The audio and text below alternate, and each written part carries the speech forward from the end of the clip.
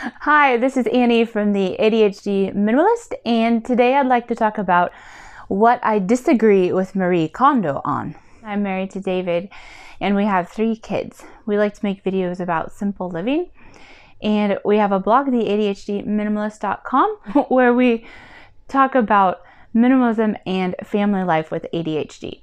The other day, I went through all of my clothes. I've decluttered my clothes two or three times before, but I, I did the Marie Kondo thing. I brought all my stuff in my room and I threw it on the bed, and there was a pretty big pile.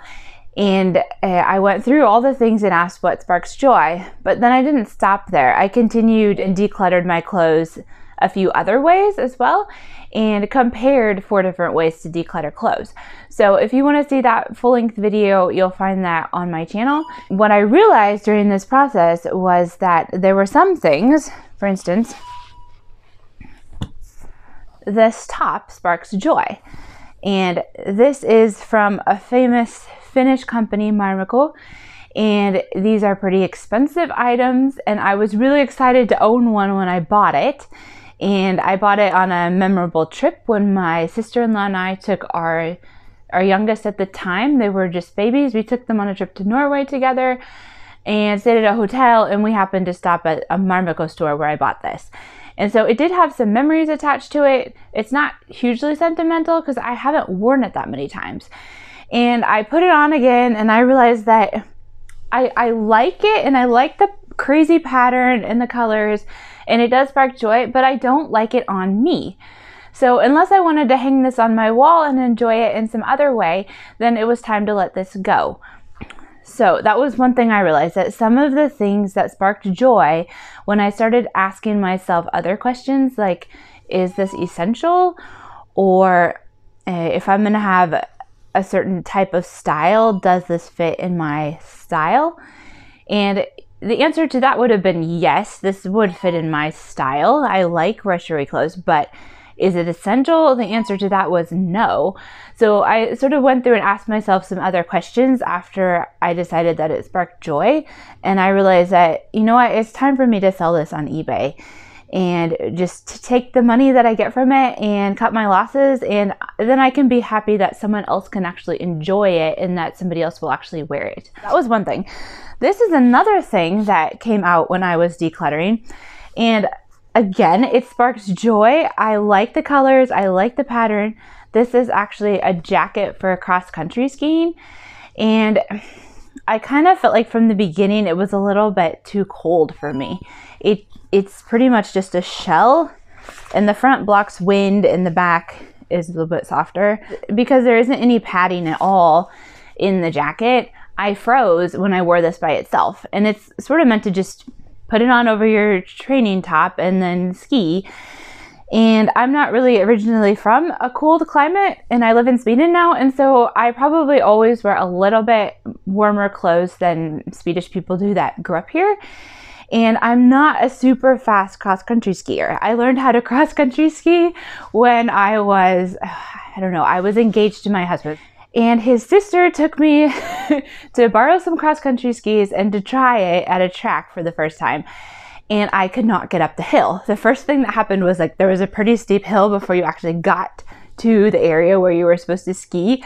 And I kept trying and trying and trying. And after five times of just falling on my face in front of a bunch of other people, she had to get behind me and just push me up by my butt. And then I finally got up the hill and then I made it two kilometers cross country skiing, but every time we went downhill, I fell down. so it was a kind of a trying first experience, but I got over that and eventually I really enjoyed cross country skiing but I'm not a professional skier. I'm never going to be super fast um, because I'm just not going to put in the time to be super fast. I like to cross country ski when it's a nice day outside because you get out and you exercise. And usually I like to do it with a couple of friends and talk at the same time. So that's my way of enjoying cross country skiing. And this jacket does not fit into that scenario because I freeze. And so I finally decided this is also going on eBay. Someone who's super sporty and wants to ski really fast can buy this and get a good deal. Um, and that's okay. And I'm just gonna be happy for those other people who can actually enjoy and use the items.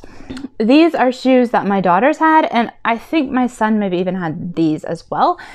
And when I was going through items, this is stuff I, I actually decluttered a long time ago using Marie Kondo's Spark Joy method, and these both spark joy. But lately I've been kind of going through everything again, and I call this my spiral method because you know, you start uh, out here at the edge and you think you declutter a lot the first time because you have so much stuff, and maybe you do get rid of a lot of stuff. But you find out later that you were kind of keeping a lot of things just in case and you weren't quite sure what you could let go of without regretting it later. And so you actually hold on to a lot of stuff the first round, and then the next round things get a little bit smaller, and you realize you can let go of more things. And and the the rings get smaller and smaller and smaller, and then you get to a point in the middle, which is what I would call Marie Kondo's click point. When you realize you have the perfect amount of the stuff in the house for you. And that's going to look different for every single person. I mean, we have a family of five, I have three kids. And so we're going to have more stuff in our house than a couple would without kids or a single person would. And so I sort of like the phrase uh, family minimalism because that sort of sums up my life. I have more stuff than a lot of minimalists would, but the idea is to have less stuff in our house so that I have less stuff to pick up and manage, and the kids have less stuff to pick up and put away. So uh, I found these again when I was doing a second round of decluttering. And I've sort of realizing that, I mean, I do have good memories associated with both of these boots. But I'm going to ask myself logical questions that go beyond the idea of sparking joy then I think I would keep this pair and I would get rid of this pair. And the reasons for that being these got used a lot more by my kids than these did. And then these are a better quality. So they're not sagging in the back, if you can see that. These are kind of sagging everywhere, like in the front and the back, and they were a, a much cheaper shoe. And then if I sort of just compare them in general, I have more memories of these. They're in better shape and I don't think I'm going to regret getting rid of these. Mm-hmm. Anyway, so I'm going to keep these and I'm going to get rid of these, even though they both spark joy. That's sort of what I was discussing with myself as I decluttered. it was that even though some things spark joy, because we have a really small house, I can't logically keep them. And if I were to keep everything that sparked joy, I would run out of space. And so if you have the space in your house and things spark joy, then that's great. You can keep them. But um, if you live in a tiny house, and I would say we live in a tiny house, but it's not a tiny house on wheels. You can kind of see some of the house behind me here. This is our living room and part of the kitchen. and this room, the living room, is the biggest room in the whole house. But we're five people and we're living in quite a small house. And so I have to make different decisions about what to keep than somebody who has a big house or that has a different kind of family than I have or is single. And so in the end, and I would encourage you when you declutter things to maybe start with Marie Kondo's method, ask what sparks joy. I think that's a great way to ease into the minimizing process.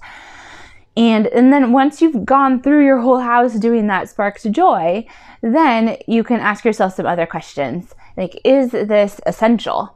Can be a really good question. Or like if it was clothes joshua becker says what's your iconic style? Um, do the clothes that you keep fit into this style?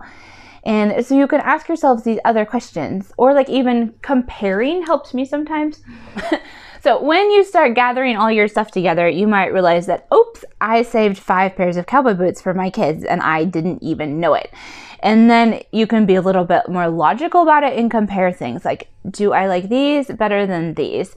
And if the answer is, oh, I like these the best and I can get rid of three other pairs and keep one, then that's great. Or if it's, oh, I can get rid of two pairs and keep one for each child, you have three kids, then fine. But it's easier to be logical about things when you have a set amount of space to put your stuff in. Like when you decide that each child gets a certain box to put their baby clothes in, and then that's all the space that they get, then it's easier to make decisions like, oh, I need to get rid of some cowboy boots because they won't fit, and some of their baby clothes from when they were little are more important to me. And then you can kind of compare things and make that decision. I've also found that it's easier for me to discard things if I have a set amount of space for these items. So after I decluttered all my clothes again, I picked new drawers for everything. And I decided that this one drawer, which is, I don't know, maybe it's like this big, it is going to be the only drawer that I have pants in. Now, that doesn't include winter pants or rain pants or that sort of thing, but all of my jeans, all of my comfy pants, and anything else that I had is all supposed to fit in that one drawer. And if it doesn't fit, then I need to get rid of another item so that I can make it fit, not start hanging jeans in my closet because I also have a limited space in my closet. so that's sort of my way of like setting a boundary for myself to keep things going out at the same rate that they're coming in. And don't get me wrong, I do really appreciate Marie Kondo and her method of finding things that spark joy.